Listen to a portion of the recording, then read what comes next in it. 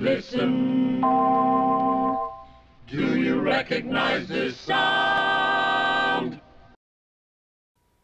Hi, I'm Mike Sokol from Live Sound Co. and welcome to Live Sound Advice. In this episode, we're going to talk about hooking up the Quick Press Mult. As you can see, I've got a Midas M32R console here.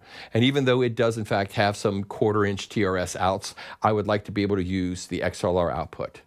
As you can see, if we can come out of the aux send on any mixing console into a standard passive DI box, we can convert this into an XLR output that's sufficient for camera feed.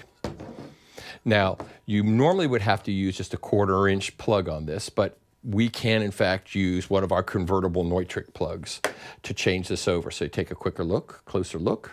You can see right now I've got a convertible female in to male out XLR. So in this case, I'm going to make it a female input.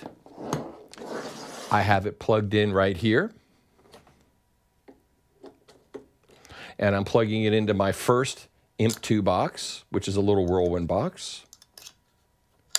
And because this has a high input impedance of about 20K, I can plug as many of these together as I want realistically. In fact, I could plug up to a dozen together and it would not load the circuit down.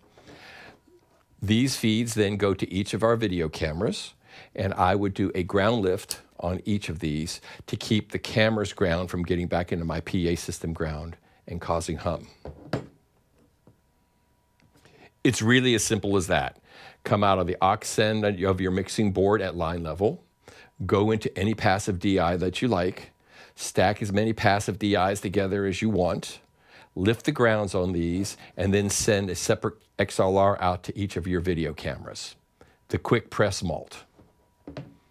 I'm Mike Sokol, and thanks for watching. Now speaking of sounds, let us be precise and give you some sound advice.